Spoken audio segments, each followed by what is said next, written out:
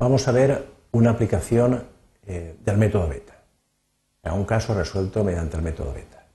Este método, como sabemos, eh, para valorar un activo en un mercado determinado, lo que necesitamos conocer son tres informaciones.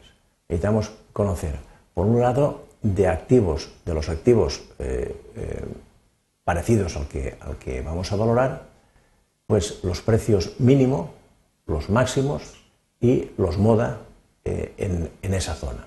Y por otro lado, de la variable explicativa que hayamos elegido, también el, valor mínimo de esa variable explicativa, el valor máximo y el valor moda. Entonces, conocido esto del mercado y conociendo eh, el valor de la variable explicativa en el inmueble a valorar, pues ya podemos aplicar el método beta. Para ello tenemos que calcular una serie de parámetros h, p y q. Aquí tenemos el parámetro h de eh, la variable explicativa que se calcula con esta fórmula y una vez calculado el parámetro h calculamos los parámetros p y los parámetros q.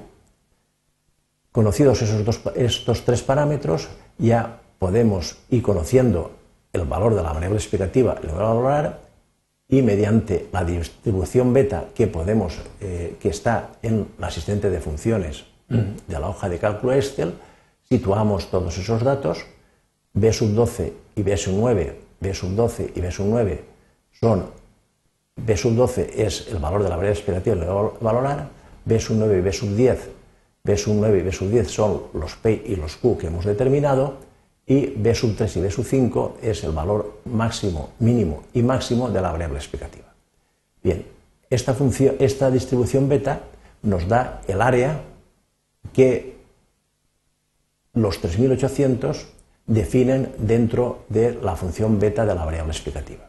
Conocida ya el área de, eh, dentro de la variable explicativa, esta área la pasamos a la distribución beta inversa, distribución beta inversa que está B sub 13 es el área determinada anteriormente, C sub 9, C9 y C10 son los P y los Q de los precios y C3 y C5 son el precio mínimo y el precio, el precio máximo y eh, esta em, función distribución beta inversa ya nos da el valor 1870,28 de este inmueble a valorar en función de estos datos.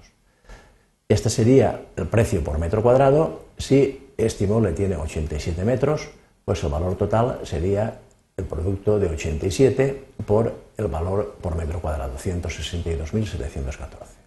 De esta manera, y una vez construida esta función, este mini programa, eh, podemos utilizarlo para valorar cualquier inmueble dentro de este mercado. Imaginemos que ahora tuviésemos otro inmueble a valorar en que su eh, variable explicativa, en vez de ser 3.800, pues fuese eh, 3.000. 950. Al cambiar la variable ahora automáticamente nos aparece el precio eh, nuevo aquí. También el, este mismo programa nos puede permitir para trasladarnos a otro, a, otra, a otro sector en el cual eh, las variables explicativas y los precios sean distintos. Lo que tenemos que hacer es cambiar las variables explicativas, cambiar los precios, los máximos, mínimos y moda de tanto de la variable explicativa como del precio y automáticamente tendríamos rediseñada la, eh, función para aplicarla en ese eh, sector. Como vemos, es una manera muy sencilla de aplicar el método beta mediante la hoja de cálculo Excel.